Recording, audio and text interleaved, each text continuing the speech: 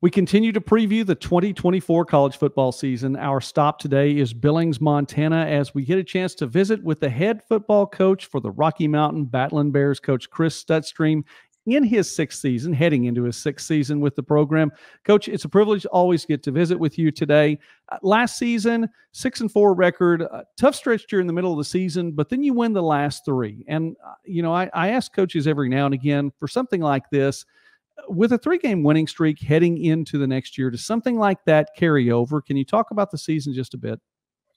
Um, you know, I think we we got a big win at home against Dickinson, um, and then uh, the second game against Northern, we did lose our starting quarterback in that game, uh, and then we we caught a tough, you know, tough tough stretch of games right there, which is always true with the Frontier Conference.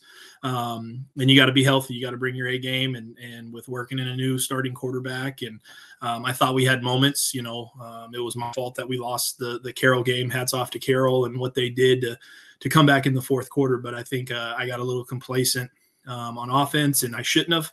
Um, and then you know, going into uh, C of I um, we are up 21 to three at halftime and and didn't didn't close it out. And hats off to them for coming back and and really um, taking that game. Um, you know, and so it just kind of went back and forth. You know, we had uh, we had some moments where I thought we were a conference championship caliber team, and then some moments where we weren't. And so, um, you know, to to win out the last three uh, was huge. I think for our season, for our seniors, um, but also you know, I think it gives some confidence to guys and showing what we can do. I thought we put a lot of points up those last three games, and then also uh, played really good defense. Um, but every year is a brand new year, uh, and so we we know that We're, we lost a lot of key players, but have a lot of young guys and, and new guys that are going to step in and do a do a great job.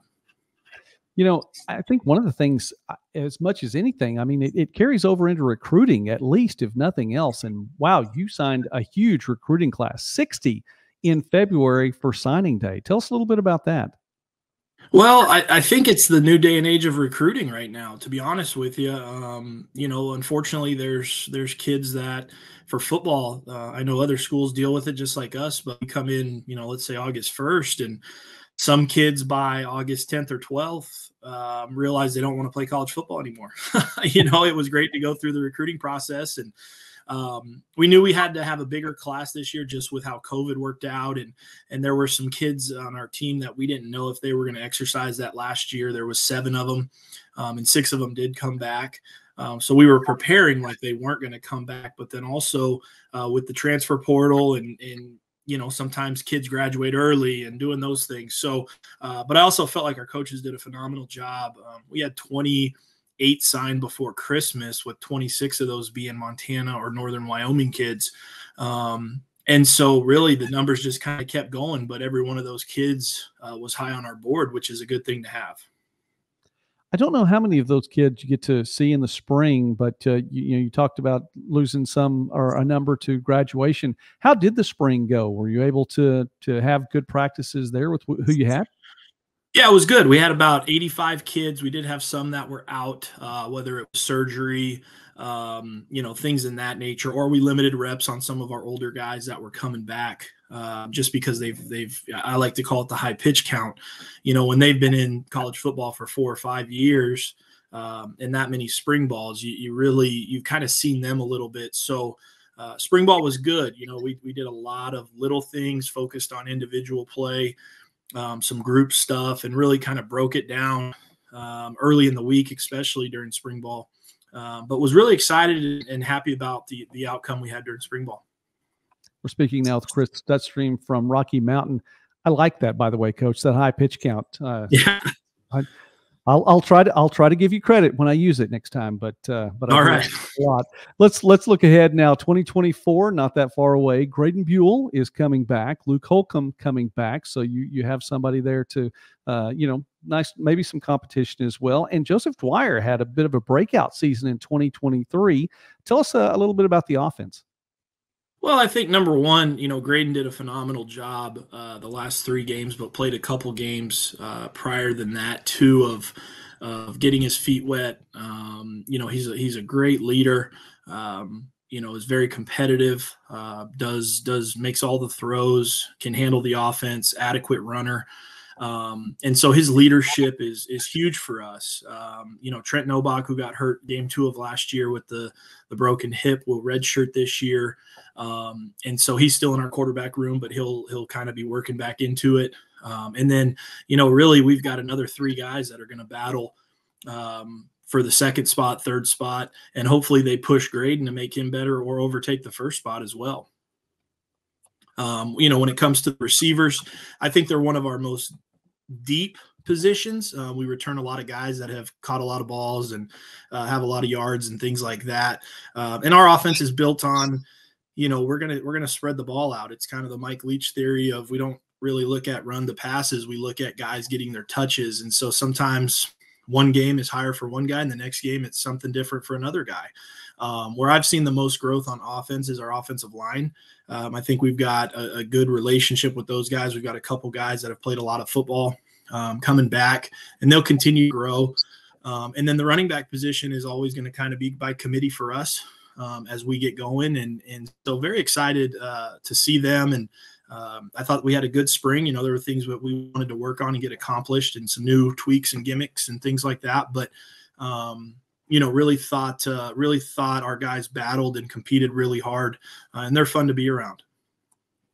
Coach, let me stay there just a little bit longer on offense. You talk about the line and Frontier Conference. It's it's always going to be a tough schedule. I mean, game in mm-hmm. and game out. How big is it then to have a, an experienced uh, or very tough offensive line? Because you, I, I, would imagine uh, you're going to see a ground game quite often. Yeah, I think it's huge. I mean, they're you know the offensive line is the most important position group in my opinion um, throughout all of all of sports um, you know as as many coaches have said um, the offensive line uh, doesn't need anything from everybody else but everybody needs something from the offensive line um, and so uh, that's a spot where we needed to you know build depth and build guys that um, we can comfortably play, you know, eight guys a game uh, because of those injuries and and getting worn down throughout a long season and, and tough opponents each and every week. You've got a lot of, of lines that I'm going to borrow, Coach. I, I need to. I need to, I need to listen in your locker room a time or two. I, I think that would be terrible. That okay. one was that one was stolen, so okay. that's uh that's from Harbaugh. That was from Jim Harbaugh. So, but it's it makes absolute sense. I Absolutely, mean, you know, that offensive line is the most important thing, um, especially on the offensive side of the ball, and they've all got to work together. And so, really building that depth and and making sure that guy those guys are a, a good solid unit for what we try to do offensively. Well, on the defensive side of the ball, Kason Barnett, he was a force in the secondary, and and last season, John Aragon uh, led the way for you. Five sacks, uh, nearly 10 tackles for loss. Talk a little bit about your defense and some of those guys coming back. Well, I'm really, really happy with Kason. Um, you know, what he does on the field. He's a quiet guy, but I've really seen his leadership grow, um, being vocal and things like that within the secondary. Um, he's a solid player. Uh, he's really good. You know, you, you kind of, early on we tried to all right if he plays for us great you know we'll see what happens. And then you know we couldn't keep him off the field um, and especially in the return game as well. Uh, he makes people uncomfortable back there. Um, but i think you know defensive wise that's the other side you know is the offensive line that is very very important. Um, we're always going to preach make teams one dimensional uh, and so john's a great great young man um, works extremely hard very physical very tough um, need his leadership to continue to grow and, and bring those other guys along with them. Uh, but we're looking at, you know, probably playing eight guys consistently on the defensive line to keep them fresh. Um, and we feel like uh, we've got a little bit of depth there that we can continue to rotate guys. You know, that's a, that's another thing. And I go back, I, I don't know exactly why I'm staying with the line so much, Coach. But that that's another thing. In, in recent years, I, you know, you hear more and more about that the the depth of the defensive line. Uh, you know, where you don't hear, I, at least I don't. I haven't heard it as much.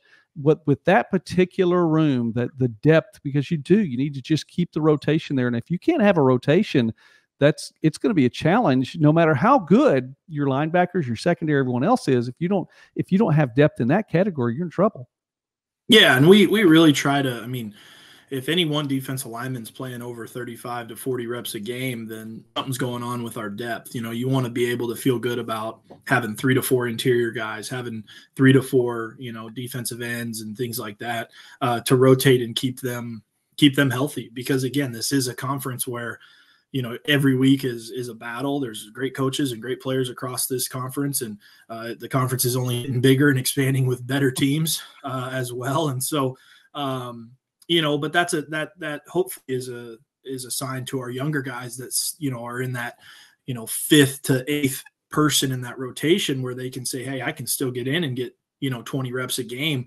um, where they can continue to grow i mean that's a lot for a freshman that freshman, sophomore, first year, if they play 15 reps a game, um, that's 150 reps over a 10 game season. That's almost two games um, that they're playing.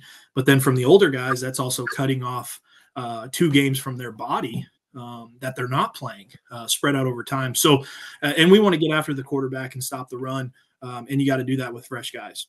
Yeah. Well, we're going to uh, talk about that uh, conference that you're talking about expanding almost even as we speak. Actually, going to be talking about that here on the channel a little bit more tomorrow. But today, um, the Frontier Conference is expanding. You know what? Let's let let me save that. I, I didn't get to special teams. John, uh, Austin Drake is coming back. Let me let me ask you about him really quickly. Fairly effective for you as a short range field goal kicker. Yeah, Austin does a great job. Um, you know, he's one that has really worked on his craft throughout the last couple years, and he's very consistent. Um, I always tell our specialists that I don't care if you can make a 60 yarder and uh, but then you turn around and miss a 25 yarder. You know, be consistent at where you're at. Just let us know what yard line we need to get to, um, and we kind of know that with him. Uh, but we've got a we've got a competition. Um, we've got a couple guys that during spring ball and redshirted for us last year that have really uh, stepped up, and so that'll be a competition going into the spring, just like every other position. You know, we're we're a six and four football team from last year, so we've got to really step up and take that next step, um, myself included. You know, I've got to I've got to figure out ways to to make us better and eight and two, nine and one, 10 and zero oh, uh, consistently. Um, but Austin does a great job. Uh, it'll be it'll it'll suck losing Wyatt Bresman, you know, the Swiss Army knife, as I like to call him, um, in the secondary and you know with kickoffs and and things like that. But I really feel good about where we're at with our kickers uh, and then our long snapper Tyler Anderson you know, was a first year starter for us last year and had one bad snap. And uh, he does a tremendous job uh, getting the ball back there and being athletic to run down on punts and things like that. So uh, I think the battle will continue uh, at the kicking position, and we might see a couple different guys. Um, you know, doing field goal, um, kickoff, and punt and things like that. But we'll do everything we can to put the best guys out on the field.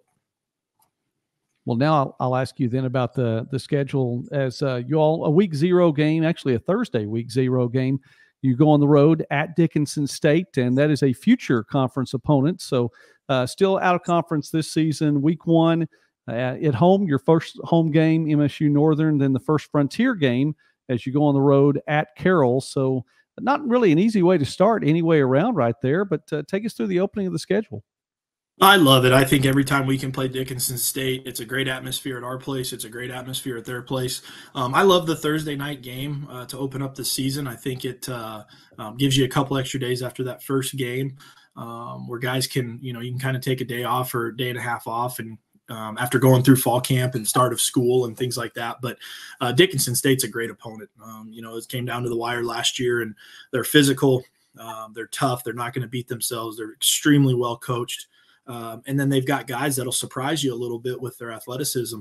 Um, and they're that's why they're a you know second round playoff team, uh, first round playoff team every year. And so we're excited to get them into the conference. And um, you know Northern with Coach Sowers up there continue to bring guys in that are believing in his culture and doing things uh, the way he wants it done. And so um, you know they continue to get better. Um, and then obviously on the road at Carroll, uh, always a tough place to play. And so uh, we've got top, you know, I'll, I'll probably say two top 20, 25 matchups um, in the first three weeks. But right now, you know, we're focused on the summer of getting ourselves better and then getting better in fall camp. And so that's the, the big thing right now.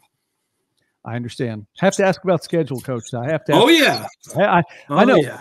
St- still just barely in the month of May right now. We're not quite to June yet. It's a little ways away, but and I agree with you. I like those Thursday night openers. I think that they're yeah they're great for for many reasons. So Thursday night, August 29th on the road at Dickinson State again for one more year. This is a, an out of conference game for you all, but that's mm-hmm. what open things up. The Rocky Mountain Battlin' Bears coach Chris Stutzriem, thank you so much for taking time with us today here. Success to you all this season. We will be following along, but we appreciate you taking time with us here on the summit. You bet. Anytime. Thank you.